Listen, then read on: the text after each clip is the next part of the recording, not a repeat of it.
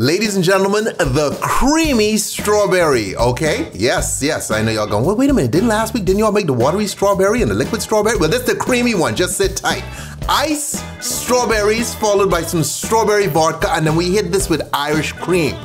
That is the extent of our mix. So if you're an Irish, oh, some strawberry stuff. But if you're an Irish cream lover, this works well because this is a nice mix because we strengthen the Irish cream by adding in some vodka to it. So you get a nice mix of stuff going on here, okay?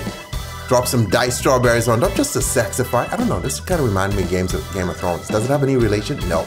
And this was created by my boy Future Cocktails. He's out of Venezuela. That's right, okay? I know a lot of stuff ruffled their future. Hang tight, homeboy.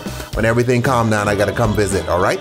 But delicious drink, fun drink, my boy out of Venezuela. So despite all the turmoil going on, he's still sending us recipes. Stay tipsy, friends, stay tipsy.